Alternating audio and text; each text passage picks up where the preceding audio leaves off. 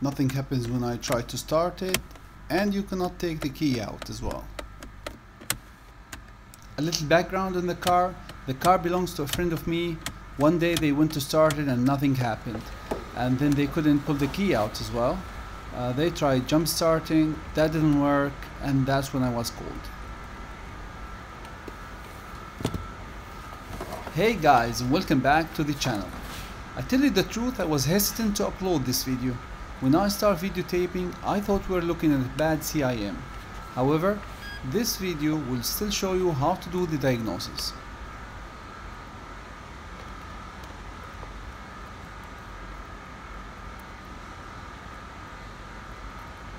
I did try to scan the car for codes before and that's when I grabbed the camera and start recording. A total loss of communication that usually points toward a bad CIM. The factory tool is providing me with excellent tests to perform quickly. Flash the high beam. If it works, then I have a wiring issue between the CIM and the data link connector. If it doesn't, then either the CIM or its power supply has failed or something is pulling the whole network down.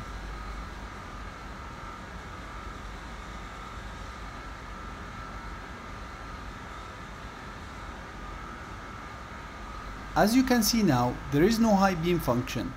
Let's check power supply to the CIM, communication wiring integrity, and if that checks OK, we'll isolate the CIM from the network and see if we can restore the I-bus. If it does, then we have a bad CIM.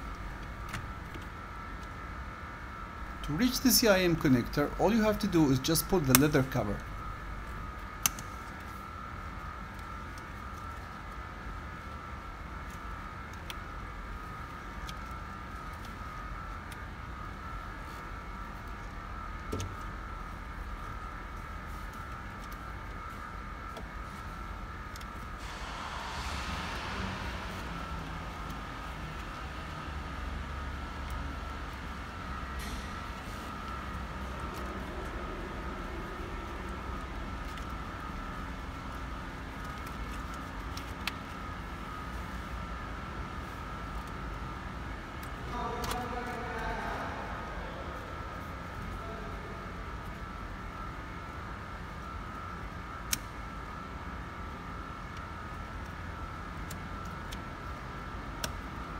I already pulled some wiring diagrams and connector pin assignment to do some testing.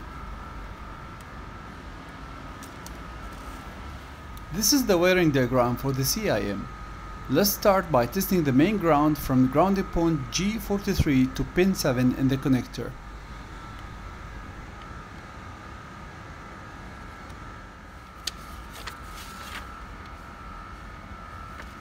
I'm inserting a tiny pin into the connector Make sure you don't spread the pins and cause any damage. I have the test light connected to battery positive. When I touch any ground, the test light should light up. As you can see, I have a good ground connection.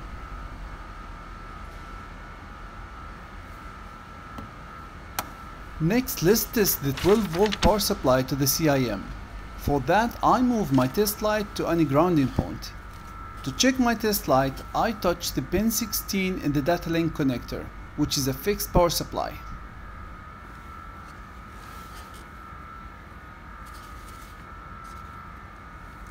Let's move the pin to number 1.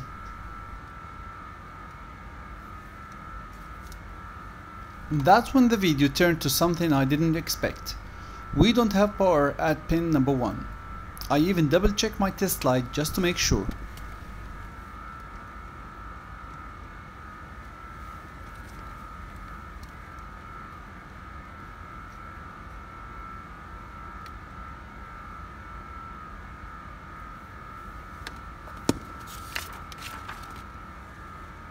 Power is supplied by fuse number 2 in the instrument cluster fuse box. So let's check that fuse first.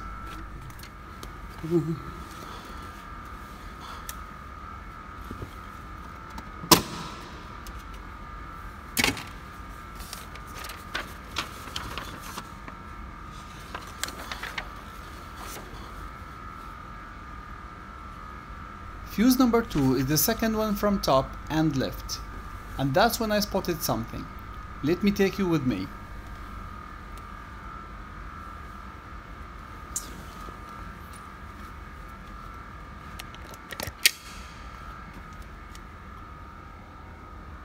It's that 5 amp fuse that looks different. I called my friend and asked if they ever had the same thing going on before and they confirmed the car was normal for the past 2 years of ownership. I couldn't test this type of fuse while it's in, so pulled it out and was blown. I hope the camera will show it clearly.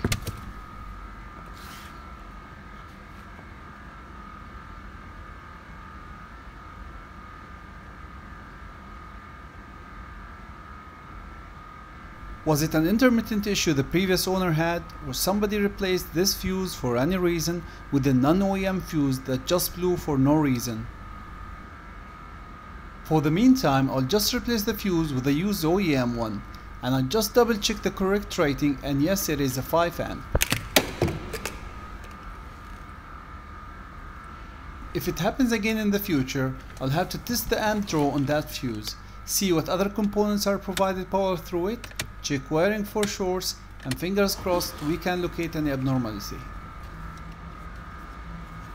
I'm already able to pull the key out which is a good sign.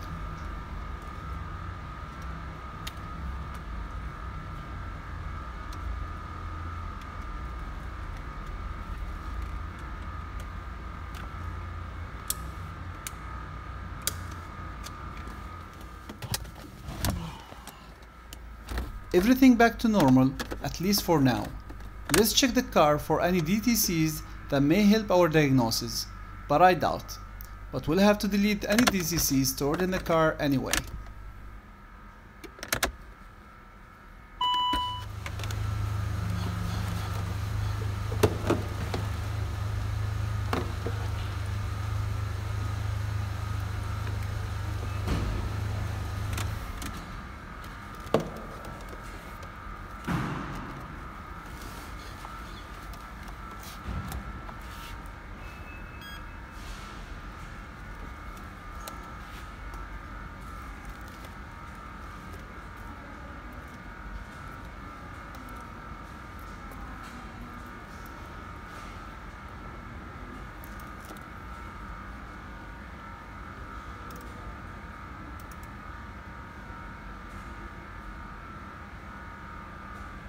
The rear right door module is disconnected in this car until we get a new window regulator for it.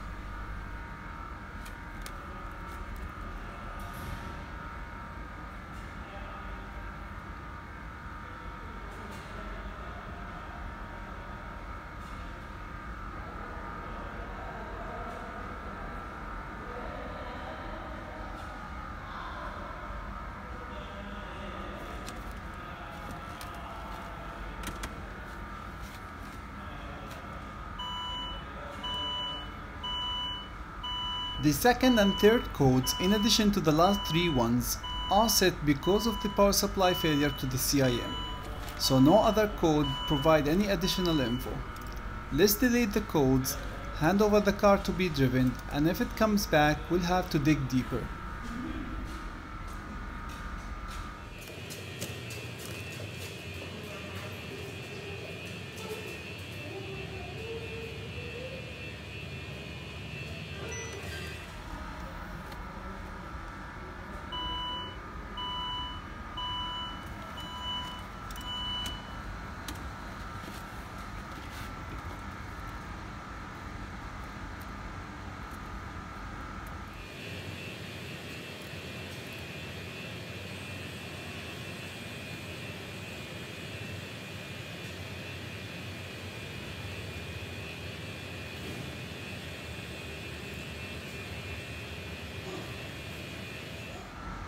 The only code left now is related to the right door module.